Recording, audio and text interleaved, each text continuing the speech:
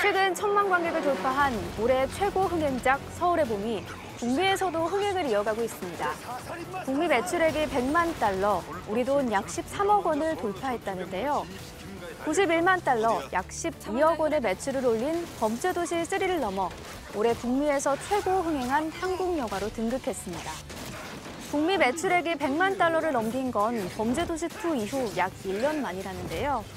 서울의 봄은 지난달 말쯤 미국 로스앤젤레스 극장 세 곳에서 상영을 시작해 입소문을 타고 지금은 50여 개 극장에서 상영 중입니다.